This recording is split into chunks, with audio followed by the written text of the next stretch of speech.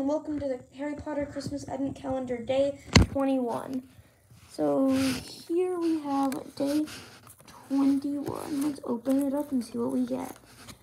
So it seems we have, what is this? It looks like some sort of letter.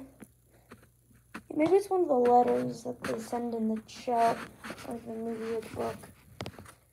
It seems to be a letter. Well, guys, I hope you enjoyed the Harry Potter pop-up Christmas Advent Calendar Day 21.